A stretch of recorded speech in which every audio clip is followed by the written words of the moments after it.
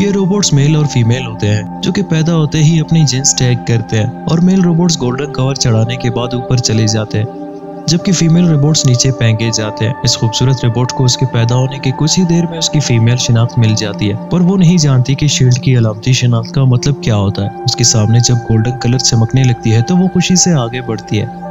कि वो भी गोल्डन रंग में रंग कर ऊपर जाएगी। पर कुछ आगे जाने के बाद जब वो मेल मार्क वाले रिपोर्ट को देखता है तो उसे कुछ अलग लगता है। पर फिर भी वो अपनी बारी के इंतज़ार में उस प्लेटफॉर्म पर चढ़ जाती है, जहाँ गोल्डन रंग चढ़ाया जाता है। फीमेल रोबोट के वहाँ चढ़ते ही अलार्म बजने लगता है और एक बड़ा सा हाथ बाहर निकलकर इस फीमेल रोबोट को कचरे में फेंक देता है, जहाँ वो देखती है कि उसके जैसे और भी हज़ारों रोबोट्स के बाकियात पड़े हुए हैं।